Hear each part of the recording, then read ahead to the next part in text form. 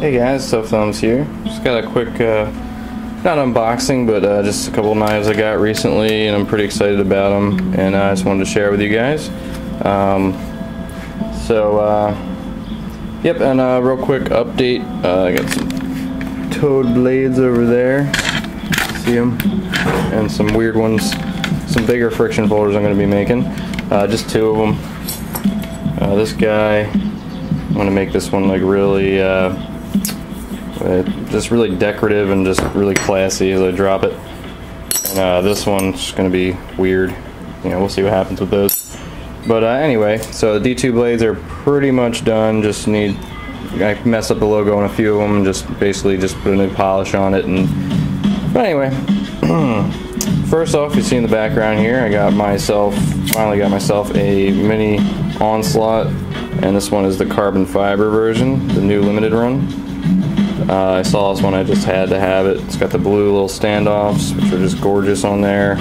Just really nice carbon fiber. Uh, number 77 500 D2 blade.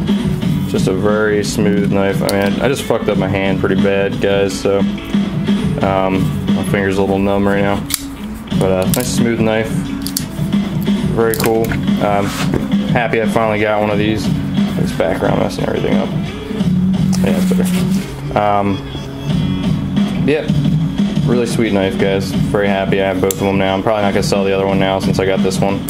So I got both of them. But uh, definitely a good score. And then, uh, you guys know I sold the Horton recently. So, uh, you know, my, my idea was, you know, I sold the Horton for a good chunk of change. And um, you know, I figured I'd get myself a custom that wasn't too expensive. Um, so, yeah. I got this guy. I'll show that one last. But first up, I'll show you this knife I got yesterday from uh, from uh, my buddy Jack, who owns a Sharp Unique Gift for Men, which I'm putting a video up of. I'm just editing it. You guys definitely check it out. It's really cool. It's a tour of the shop and uh, you know just what he's got going on there, and uh, some deals on some of my knives I did that are sitting there. Uh, you know, definitely uh, gonna hook you up with a, a good deal on them. So um, they're already finished and pimped and everything. I did them a long time ago, but you know, just not a lot of people are. Uh, he doesn't have a huge internet following, so I'm going to try to change that. You know, you can uh, get them through me and stuff. So, first up, now this knife, I got to explain myself before I show this because some people are going to be like, "What the fuck," you know. Um, see, it's a Microtech. Now, I'd seen these things for a long time, and I've always just kind of, I kind of thought it was stupid. You know, I'm not a big guy for uh, for like fighting knives and stuff like that.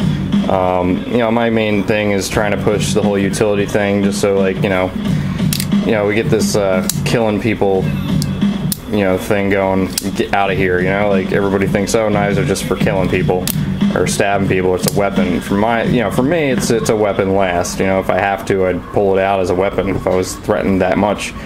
But uh, you know, for me, it's utility. Yeah, this one, you know, some of them don't look like it, but this one is more of a toy. Um, and I've always been curious about having one of these in my collection, and Jack really hooked it up. Uh, so this is a Microtech, nice little case here.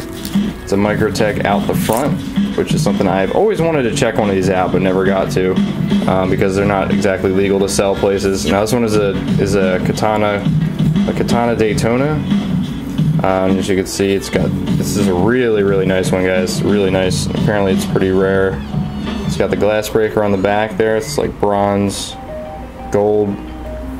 Uh, nice pocket clip, very secure. Unfortunately, I'm carrying this really, so uh, it's got the little three dot screws in it.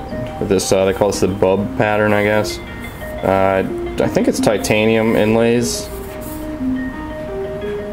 And nice glass breakers, really nice looking. Um, with this one, yeah, I just had to have one of these just for my collection. So it was a S30V blade they're really neat, like nice gold on there with the splash of silver. I think it's called a hamon or something like that. A classic Japanese style. A little bit more stylized and a little micro micro holes in the blade there. But I just wanted in these, you know, just fun to play with while you're watching TV and stuff. I hear they're pretty strong too. I mean, I opened opened some packages with it and stuff, and you know, even though I felt kind of weird doing that, but know, it was nice because it just you're done with it, just pop it right back in there. So uh, yeah, I probably should have got like a not as nice as this because I like to use my knives. And this one's kind of pretty, but uh, it's got a pretty thick blade on it. Nice reinforced tip.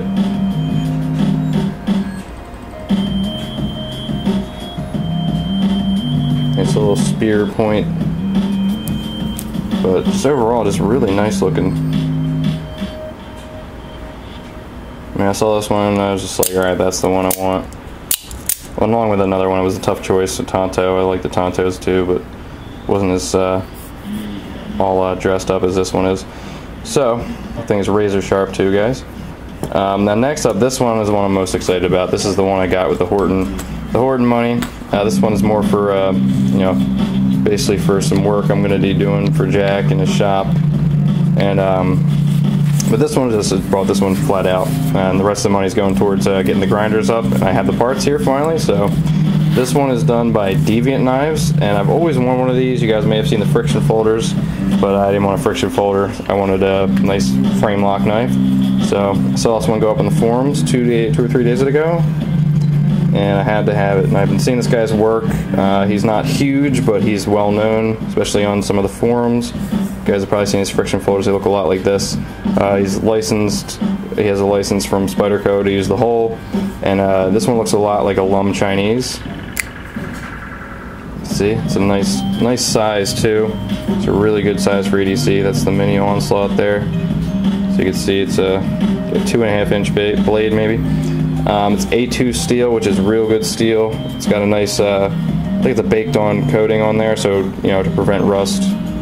Um, very nice and ergonomic. The G10 work is impeccable here. It's, uh, it's tan G10 with uh, blue sandblasted, or like I think it's like a, it's black I think, but it has a bluish tint to it. I don't know, but uh, it's nice and sandblasted to give it texture.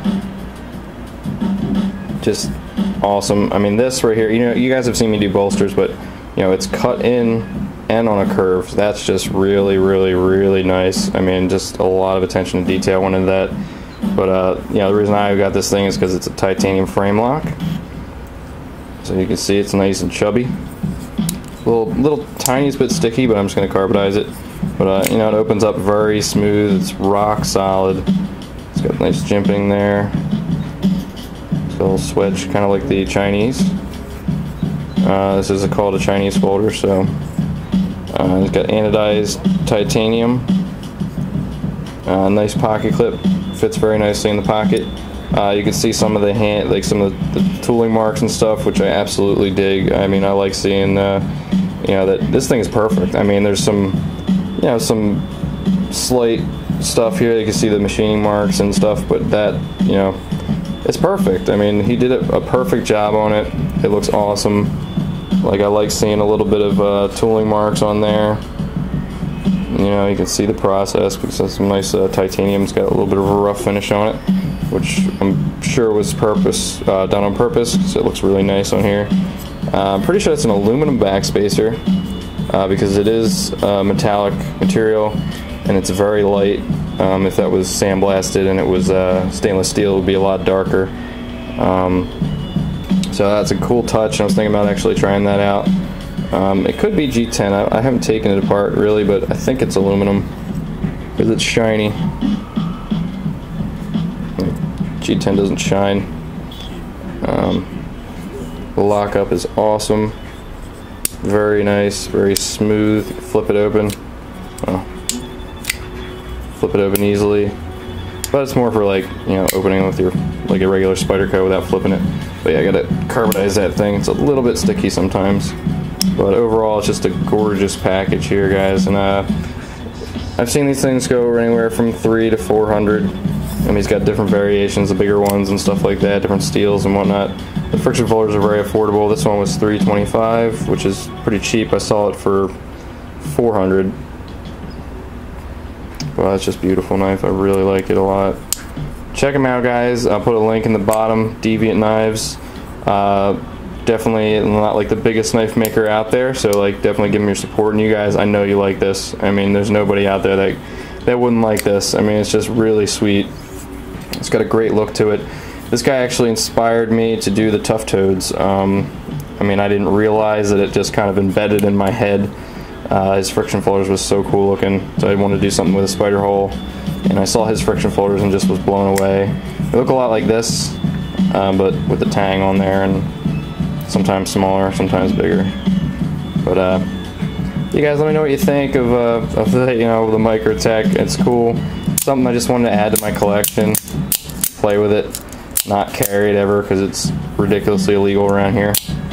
But uh, definitely pretty cool. But anyway, guys, thanks for watching, and I'll probably have some pimpage videos. I got to go to the movies with my girlfriend tonight, so uh, I've been working on the toads all day because uh, we're sending them out for heat treats, so they will be done very soon. Um, I do have a couple spare blades that are already done that just need to be refinished, so a couple people will get them sooner than others. Uh, but I have to keep one set of scales for fitting. Uh, so, you guys, thanks for watching. And uh, make sure you look out for that uh, video. Uh, I did that Sharp Unique Gifts. Um, editing it right now, so thanks for watching. Peace.